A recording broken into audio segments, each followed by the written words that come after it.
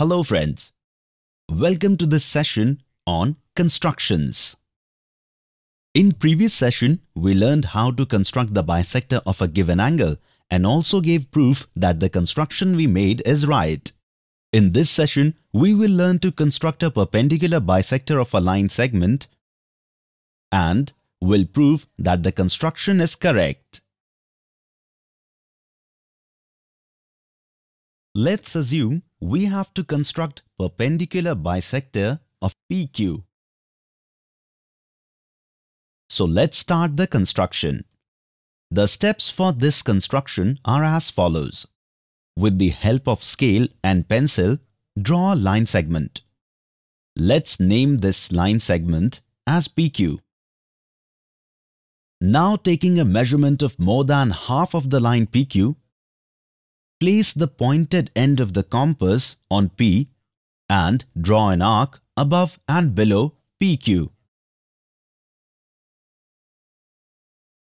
Now without changing the measurement, place same pointed point on Q and draw arc below and above PQ in such a way that they will intersect previously drawn arc. Note that measurements of radius from point P and Q have not changed. Let's name the intersecting point X and Y respectively and with the help of scale join XY. And let's name the intersection point of PQ and XY as O. The point where the line XY intersects the line PQ will divide the line segment PQ into two equal parts and XY will also be perpendicular to the PQ. You can check the measurement of PO and OQ with the help of the scale whether it is equal or not. Also, with the help of the protractor, we can also check whether the angle formed is 90 degrees or not. So in this way, we constructed a perpendicular bisector of a line segment. Let's prove it mathematically as well.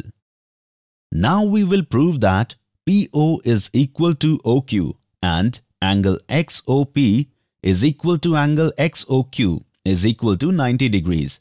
If we prove the triangles XOP and XOQ congruent, and since the corresponding parts of congruent triangles are equal, therefore we can say that sides and angles are equal and it will be easy to prove that PO is equal to QO and angle XOP is equal to angle XOQ is equal to 90 degrees. For that, we will first take triangle XPY and triangle XQY by joining PX, PY, QX and QY. Now in triangle XPY and XQY, side XP is equal to side XQ because these are arcs of equal radius. Similarly, side PY is equal to side QY because these are arcs of equal radius and side XY is equal to side XY common side. That is triangle XPY and triangle XQY are congruent by side-side-side congruency rule. Therefore, angle PXY or say angle QXY will be equal to QXY or say angle QXO because the corresponding parts of congruent triangles are equal. Let's this be equation 1. Now let's take triangle PXO and triangle QXO as we know that side PX is equal to side QX because these are arcs of equal radius. Angle PXO is equal to angle QXO by equation 1 and side XO is common side. Therefore, triangle PXO and triangle QXO will be congruent by side angle side congruency rule and therefore side PO is equal to side QO. The corresponding parts of congruent triangles are equal. That is point O bisects the line segment PQ. We have proved apart that PQ is bisected by XY. Now it is yet to be proved that the line XY is perpendicular to the line segment PQ so that it can be proved that it is perpendicular bisector of PQ. Here angle XOP is equal to angle XOQ because corresponding parts of congruent triangles are equal. Let this be equation 2. And angle XOP plus angle XOQ is equal to 180 degrees because these angles form a linear pair. Let this be equation 3.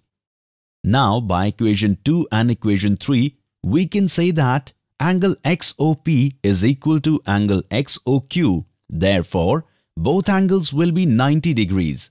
Angle XOP is equal to angle XOQ is equal to 90 degrees. That is, XY is perpendicular to PQ. Friends, that's it for today's session. Today we learned to construct a perpendicular bisector of a line segment and also learned to prove it. Meet you in the next session with some questions based on the same. Thank you.